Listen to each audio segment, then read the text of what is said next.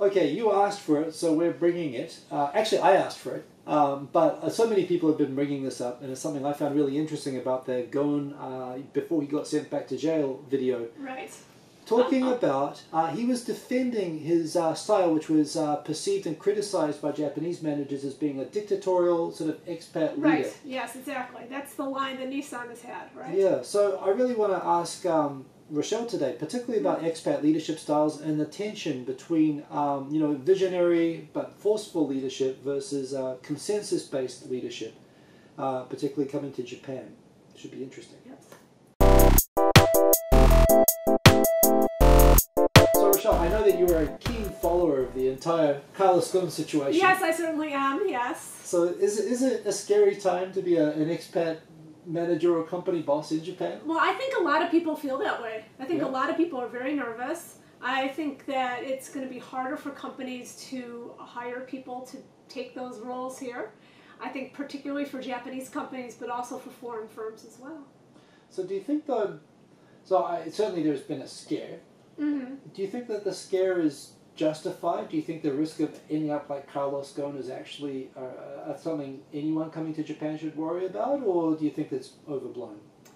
Oh, I, I kind of have two feelings. Yeah. I think, you know, that was, the, the Nissan situation was kind of an extreme and complicated one, Yes. and so I think it's unlikely that your typical manager would find themselves in exactly that position. And that's a pretty much a worst case scenario. yeah, it's pretty bad. It's, well, well, the thing is, the whole thing, story behind it is extremely complicated. Right. Um, on the other hand, this whole incident has made a lot more people aware of how Japan's legal system works. Certainly. And it's not necessarily a very flattering picture, right? Yeah. And so other non Japanese have been caught up in the Japanese justice system and then had difficult stories. Um, there's a guy that I know from Chicago named Stephen Gann, and he has a book about his story about how he was in detention for a really long time till he confessed. Yeah. It's not um, it's not necessarily Yeah. a, a comforting picture, Yeah. right? And actually, what I, what I like to point out about this case as well, and it's the same with family law as with the criminal justice system and the way that that works. Um, typically, a light gets shown on it when someone famous or foreign gets tied up in it, but these issues are the same for Japanese Oh, people. exactly. Yes. Um, Mhm. The lesson is Japanese or foreign or whatever, you don't want to end up in a, in a detention situation Right. because um, you can be detained for extremely long periods of time, and it's basically it's like if a democratic election has a ninety nine percent.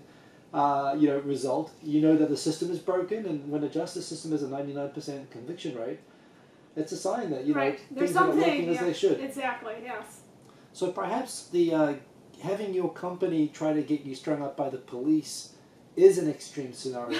right. This is a very extreme scenario. uh, yeah, and I've never actually heard of it going uh, quite that far. Actually, going to like uh, prosecutors with it, but Right. The old uh, palace coup from the local company is a pretty common play, actually. Yeah. Uh, Yeah, it usually doesn't go to the legal authorities, though, right? No. It's usually happen. It happens internally, right? That's right. Yeah. But um, you can sort of see there's all sorts of stories and rumors and uh, sides of the story being told about you know how Nissan ended up in this situation. Right. Um, and Carlos Ghosn himself, in his video where he kind of gave his side of the story, it was only a seven-minute video. It's posted on YouTube, and actually, I'll, I, I'll try to link it in the description below. Um, what interested me was he actually did a small Japan Business Time uh, episode in it. yeah. Uh, it was a it was a self defense. Right. Uh, well, why it would be good to be a dictator, right? Or, yeah, or they call me a dictator. Yes. If that's what you want to call it, that's fine. But you know, to save Nissan, I needed to make big decisions. I needed to have vision, and my fear for Nissan is that uh, the current leadership is a consensus oriented. They have no vision. They have no plan, and this is going to put Nissan back in the hole where it was, and that's my fear. It's Uh, a reasonable fear given the situation, actually. Yeah. yes. Uh, but, but, but it also, but also too, it raises question for me as a leadership expert hearing that. Yeah. Okay, he thinks all the people leading Nissan don't have vision. Hmm. Why didn't he find someone with vision and hire them and put them in those places the last 20 years? He was running the company. If all these people who are there are really not up to snuff, isn't that his fault? Yes, and, and, and also it kind of reflects uh, his perception of himself a little bit as well. Well, of course, yeah. Uh, he, he, he introduces himself as the savior of Nissan, and look, I think he's got a He claim to that. he was, yes. Mhm. He has a claim to that. Uh, you know, he likes to emphasize this company wouldn't be anything without me, and you know, I love it, and so on. But, uh, but in terms of he, he identified a tension that really does exist in almost every international company in Japan. This balance between uh, this sort of uh, command and control structure that uh, is pretty typical of Western corporate leadership, Right.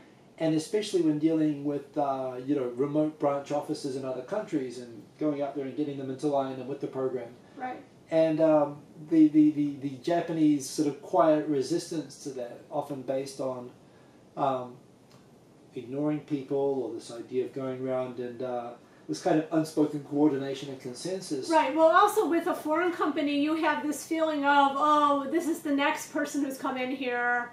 They'll be gone in a couple of years. We'll just wait them out. Right. There's a lot of that that happens. So I did ask this um, a good question for you. Okay, I'm in, I, I'm sitting in my office in Chicago. I've just been told we're sending you out to the Japan office.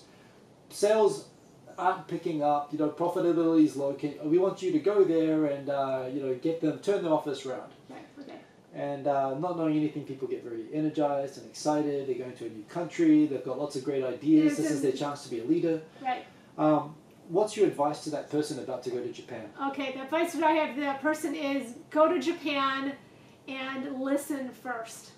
You may have a variety of ideas of things that worked in Chicago, wherever. Know, They won't necessarily work in Japan. They so might. They might, but not necessarily. But Right. first, learn a lot more about what's going on. Mm. And also by uh, talking to people Mm. for really your first, like, you know, 30 or 60 days, you'll also show them that you're listening to them. So you'll get the information, but you're also showing, I'm not just going to come here and impose something, let's work together. Okay, so it sounds a little bit like you're advocating for a consensus-oriented management style. Well, you know, I, I think that word consensus is a little bit tricky, but what I would say is, I mean, you're not going to have anything happen Mm. if you don't get those people on your side. Certainly. And so you have to find what they care about.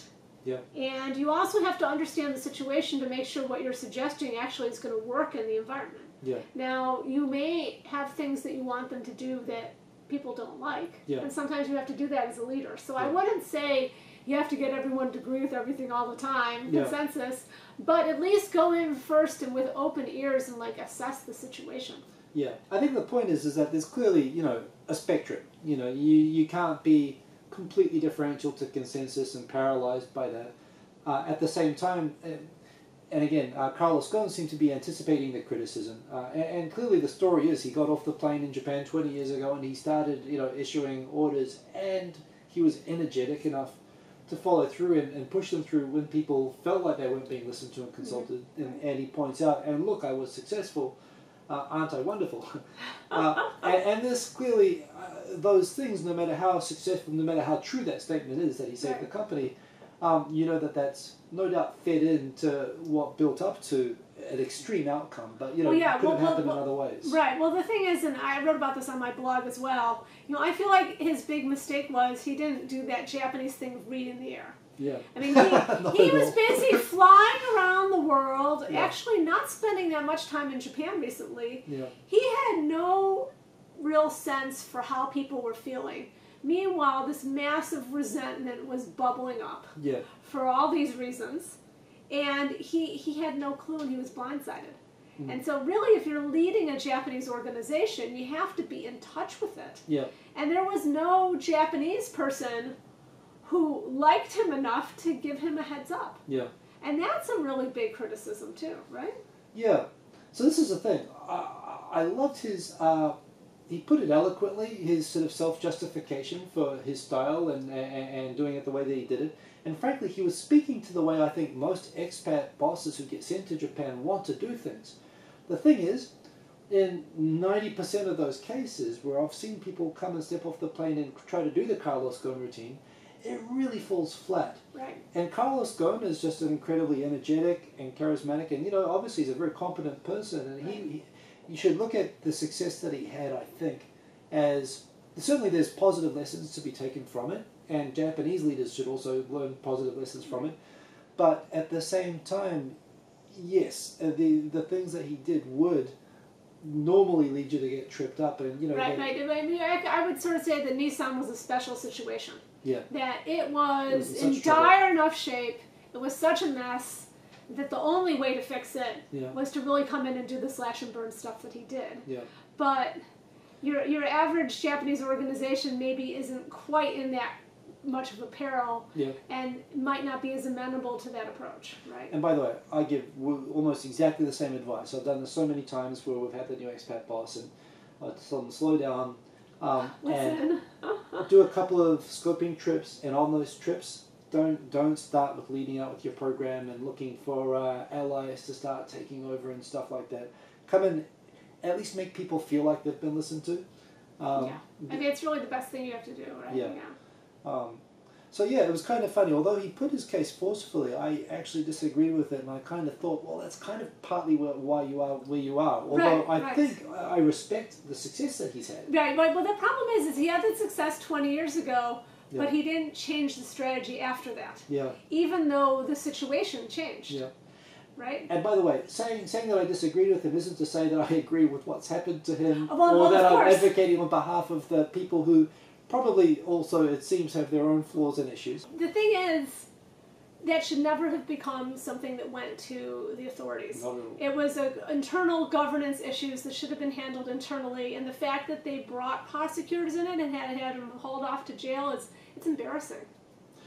Yes, although the story continues to evolve, um, and maybe the prosecutors are getting lucky as they take advantage of the detentions to investigate more. Right, right. And they're, they're finding something that maybe they can do something with. Maybe. But certainly the original excuses just seemed really weak. Yeah, they're pretty weak. And, and, and my thought was as well the deferred compensation thing.